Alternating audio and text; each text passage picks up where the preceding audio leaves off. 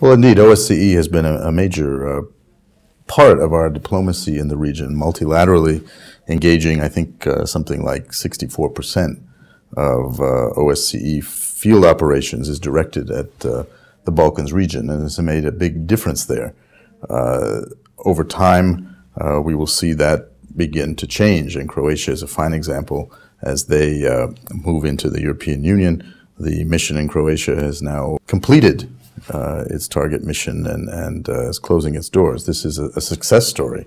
The office of the OSCE in Zagreb finished a mandate and uh, has allowed Croatian authorities, their own institutions, to uh, take over those roles. Um, so we focus on, on right sizing the missions in the region. I think they still have important roles to play in each of the countries, each one individually uh, has different circumstances, different uh, conditions, and OSCE works with others in the international community, the United States, the European Union, other international organizations to coordinate assistance, uh, training, uh, observer status, um, and offers a full range of, of activities, uh, experiences, expertise, uh, from conflict prevention to to crisis management and, and post-conflict efforts.